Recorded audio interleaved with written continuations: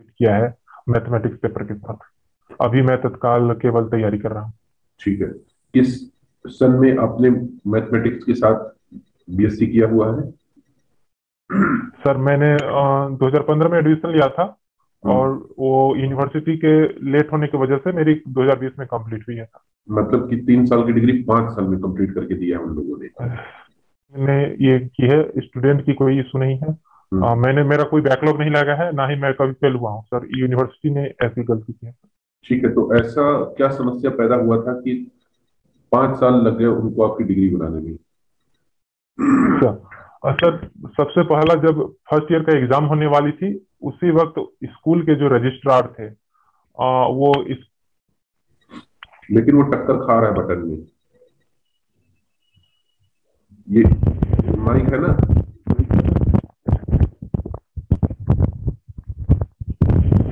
अब सही है चलिए ठीक है। सर अ, सर जब फ़र्स्ट ईयर का एग्ज़ाम होने वाली थी तो हमारे जो रजिस्ट्रार थे हम्म, यूनिवर्सिटी के उनका नाम एक घोटाले में आ गया था जो कि कॉलेज के एग्ज़ाम से जुड़े हुए जो पेपर छपाता है उससे जुड़ा हुआ था। हम्म, तो उनको हटाने के बाद जो प्रोसेस स्टार्ट हुई वो बहुत लंबा खींच गई क्योंकि फिर उसमें प्रिंसिपल कॉलेज का जो वीसी थे उनका भी नाम आया।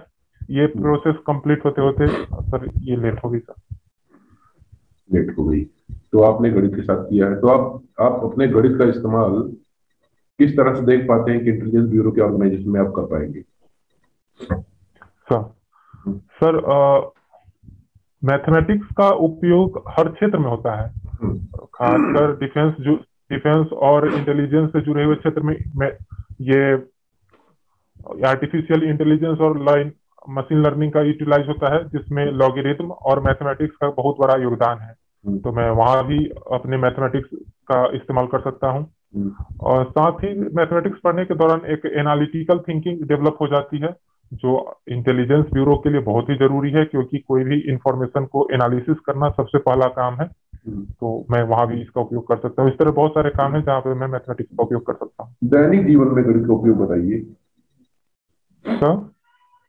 दैनिक जीवन में गणित का क्या उपयोग?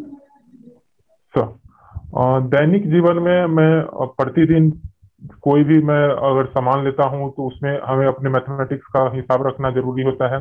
हम्म, साथ ही साथ अपने जो भी कार्य करते हैं उसका अगर हम हिसाब रखते हैं तो वहाँ भी मैथमेटिक्स की ज़रूरत होगी। और वो सबसे ज़रूरी है कि हम अगर कोई काम कर रहे हैं तो उसका कितना उपयोग होता है कितना परसेंट हम यूज़ कर पा रहे हैं अपनी इफिशियंसी का या फिर अपने वक्त का। तो हर जगह मैथमेटिक्स इस तरह उपयोग हम कर पाते हैं। तो ठीक है। मैथमेटिक्स की आपने पढ़ाई करी। पाँच साल लगे आपके विश्वविद्यालय के द्वारा। तो इन पाँच सालों में आपने गणित के अतिरिक्त कौन कौन से मानवीय गुणों मानवीय मूल्यों को अपने अंदर पैदा किया या स्किल्स डेवलप करी? अच्छा। सर मैंने मैथमेटिक्स पढ़ने के साथ साथ अपनी पढ़ाई आगे कंपटीशन की भी तैयारी जारी रखा और साथ साथ मेरा रुचि हमेशा दाएँ बाएँ कहाँ चक्कर मकर देख रहे हो? कैमरा में इंटरव्यूअर बैठा है उसको देखो। हाँ। सर साथ साथ मैंने अपनी रुचि इंटरनेशनल रिलेशंस के सब्जेक्ट में बनाए रखा। इसके लिए मैंने बहुत सारे आर्टिकल्स बुक्स और इंटरनेशनल बुक्स और कुछ नॉवेल्स भी पढ़े। हम्म, और साथ साथ मैं कंपटीशन की तैयारी भी करता रहा जो आगे हमें यूपीएससी से लेके बीपीएससी या फिर स्टेट पीसीएस की तैयारी में हमें काम आएगी ऐसे तैयारी को जारी रखा। और उसके दौरान मैंने साथ साथ कुछ एक्स्ट्रा करिकुलम में भी पार्टिसिपेट किया जो सोशल वर्क हो गए। सोशल वर्क हो गए जो ये सर सोशल वर्क हो गए। पटना के कुछ एनजीओ हैं जो कुछ फ्री एजुकेशन देते हैं। तो मैं उनके साथ जुड़ के कभी कभी जब भी मुझे वक्त मिलता सैटरडे संडे को तो मैं उन्हें पढ़ा लिया करता था बच्चों को। हम्म। मैं और ये तीन काम मैंने प्रॉपरली किया है साथ साथ पढ़ाई मैंने जारी करता। ठीक है। आप ये बताइए कि आपने एक साधारण सी बीएससी की डिग्री करी हुई है। हमारे पास बहुत से ऐसे बच्चे हैं जो इंजीनियरिंग बैकग्राउंड से और साथ ही साथ एमएनसी में उनको वर्क करने का अनुभव भी है। तो हमारे लिए वो बच्चे आपकी तुलना में बहुत अच्छे हैं। हम आपको क्यों चुने? सर उन बच्चों के साथ साथ मेरे अंदर भी कुछ क्वालिटीज हैं जो मैं उन बच्चों से बेहतर साबित कर सकता हूँ। जैसे मेरी समझ अंतर्राष्ट्रीय मुद्दे और सिक्योरिटी से रिलेटेड मुद्दों पे अधिक है। हम्म, और यहाँ तक कि आईवी की बात है तो उसमें फ़िज़िकल से ज़्यादा मेंटल स्ट्रेंथ और मेंटल पावर की ज़रूरत है। तो इस जगह पे मैं उनसे कहीं ना कहीं अच्छी परफॉर्मेंस कर पाऊँगा। अच्छा। हम आपको आईबी में नहीं लेना चाहते हैं आप क्या करेंगे तब? सर, मैंने अपनी तरफ़ से पूरी कोशिश की है और मेरा पूरा आशा है कि मैं सिलेक्ट होकर ही रहूँगा। अगर ऐसा कुछ होता है कि अगर मुझसे कोई और अच्छे कैंडिडेट्स और मिल जाते हैं तो मैं सेकंड ऑप्शन में मैं आगे की तैयारी जिस तरह जारी रखूँगा और जैसे यूपीएससी बीपीएससी होगी, और फिर भी मैं वापस आगे बड़ी एग्ज़ाम देके मैं आईबी में आना चाहूँगा क्योंकि मेरा सपना है हर हाल में आईबी ज्वाइन करना। वो? किसी भी माध्यम से हाँ। चाहे आईबी के माध्यम से। क्यों? आईबी के पीछे क्यों पड़े हुए हो? आईबी में ऐसा आपको क्या मिलने वाला है कि आईबी चाहिए आपको? चाहे यूपीएससी के माध्यम से आइए चाहे यहाँ आइए। क्या है? आईबी में।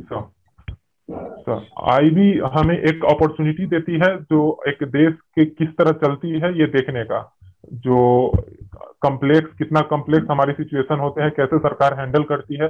साथ साथ हमें पब्लिक इंटरेस्ट के बारे में भी पता चलता है किस इलाके में किस तरह की समस्याएँ हैं कहाँ के लोग और देश के विभिन्न क्षेत्रों में किस तरह की प्रॉब्लम फेस करने पड़ती है गवर्नमेंट को।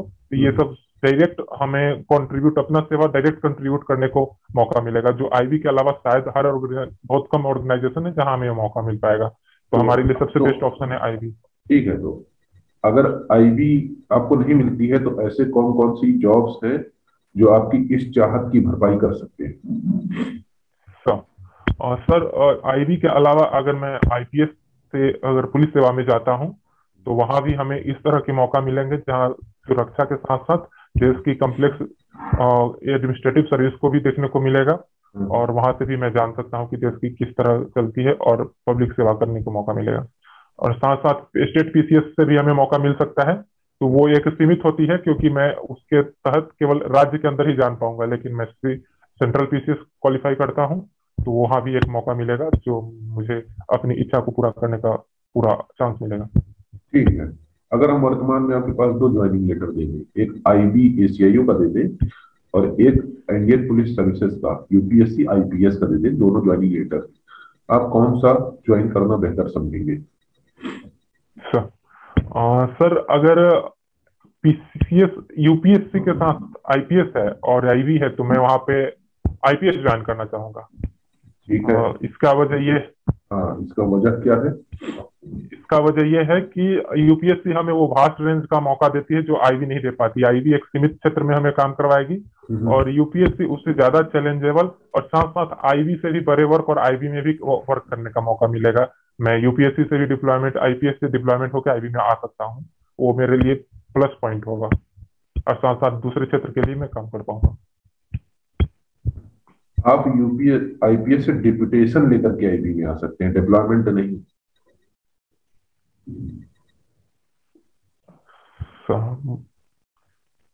है ना? डिप्यूटेशन होता है हमारे हिसाब से तो। हाँ सर डिपुटेशन यस सर ठीक है कोई दिक्कत नहीं। आप बताइए लालू और नीतीश इन दोनों में आपको कौन नेता बेहतर लगता है? आ, सर दोनों नेता अपने वक्त में और अपने समय के अनुसार अपने क्षेत्र में बहुत अच्छा किए हैं। हम्म, और उनकी अपनी अपनी अलग अलग खासियत है। हम्म, आ, लालू जी जब तक थे उन्होंने राज्य को अपनी स्तर में जहाँ एक गरीब राज्य कहा जाता था जो बहुत ही शिक्षा में पिछड़ा हुआ था कुछ हद तक उन्होंने भी अपनी कार्यकाल के दौरान राज्य को एक अलग पहचान दिलाई। हम्म, और साथ साथ यहाँ पे जो बहुत सारे पिछड़े वर्ग थे जो अपने अधिकारों से वंचित थे हम्म, उन्हें अधिकार दिलाने में लालू जी का विशेष योगदान रहा है। हम्म, बात आई नीतीश कुमार जी का तो इन्होंने भी हम्म, इन नीतीश ये सर नीतीश कुमार जी ने भी हम्म, जो भी क्षेत्र जैसे शिक्षा हो हम्म, महिलाओं की शिक्षा को विशेष ध्यान दिए लड़कियों की शिक्षा को हम्म, शिक्षा में और साथ साथ जो क्राइम था। ठीक है। अब आप हमें बताइए नार्को टेररिज्म क्या होता है? सर?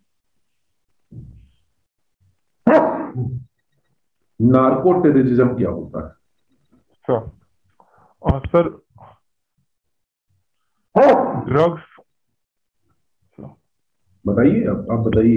सर हाँ सर ड्रग्स वगैरह के इस्तेमाल करके और उससे देश के अंदर फैलाकर युवाओं को ड्रग का एडिक्ट बनाना और उससे बेचे गए पैसों का इस्तेमाल देश के असुरक्षा के खिलाफ करना ये नार्को टेररिज्म के अंदर आता है।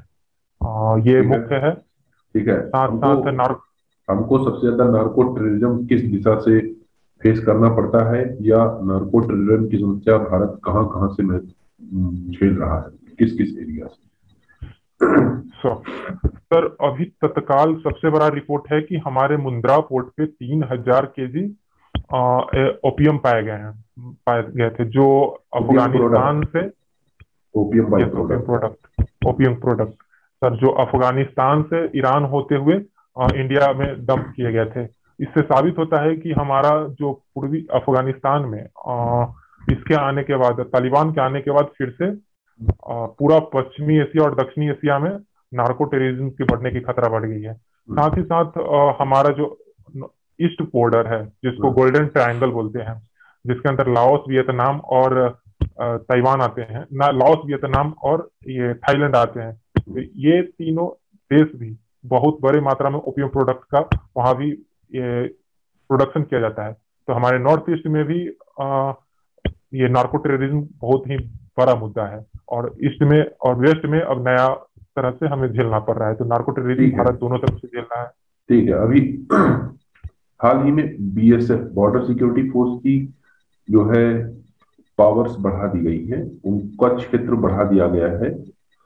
तो इसमें आप क्या दे चलिए ये सवाल छोड़िए दूसरे सवाल पे आते हैं।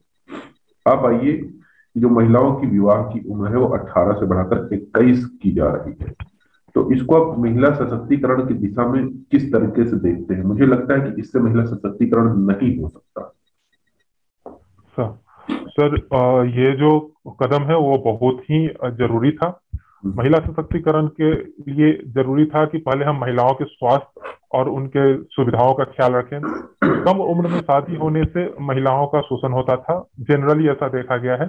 खासकर हमारे राज्य के बहुत ऐसे राज्य हैं देश के जहाँ पे अभी भी बाल विवाह प्रचलित है। हम्म, जो 18 वर्ष से शादी कर दी जाती है जिस वक्त वो ना मानसिक रूप से पूर्ण परिपूर्ण होते हैं ना शारीरिक रूप शारीरिक रूप से। हम्म, तो वहाँ पे उनका शोषण होना संभावना बढ़ जाती है। हम्म, तो ये 21 वर्ष करने से सबसे पहला बेनिफिट होगा कि वो अपनी जिम्मेवारी और अपनी अधिकार को समझेंगे। और दूसरा हमारे देश में अभी भी महिला और बच्चों की मौत में विश्व में हम पिछड़े हुए देशों में गिने जाते हैं। और इसका भी एक सबसे बड़ी वजह है कि कम उम्र में शादी होना जिस वजह से ये चाइल्ड मोर्टिलिटी और मदर मोर्टिलिटी रेट बढ़ी हुई है। तो इसे भी निपटने के लिए ज़रूरी है कि लड़कियों का उम्र जो हो उचित हो जिस वक्त शादी होने के बाद वो वैसे समस्याओं को झेल सके जो एक बच्चा एक माँ बनने के बाद जो उन्हें झेलना पड़ता है। तो ये दो चीज़ है जो बहुत मुख्य है। ठीक है। आप हमें वो दो कारण गिना दीजिए जिनके कारण आपका सिलेक्शन हम ना करें। सर हमें ऐसा कुछ नहीं लगता है कि मेरी कोई वजह हमने कोई ऐसी तैयारी छोड़ी है कोई कमी छोड़ी है जिस वजह से मेरा सिलेक्शन ना हो। अगर हमें कोई कमी रह गई है तो आप हमें सजेस्ट करें मैं पूरी तरह उस पर काम करूँगा और आगे ट्रेनिंग के दौरान मुझे जो भी सिखाया जाएगा मैं पूरी ईमानदारी से पूरी मेहनत के साथ उसको सीखूँगा और उसको अपना यूटिलाइज करूँगा। और सर मैं अब तक जो भी किया हूँ अपनी मेहनत के दम पे यहाँ आया हूँ तो मुझे पूरा आशा है कि मुझे आगे आगे सिलेक्शन होगी। बाकी लोग पैसा दे के आए थे? नो सर हाँ। चलिए ठीक है धन्यवाद। आपका दिन शुभ रहे।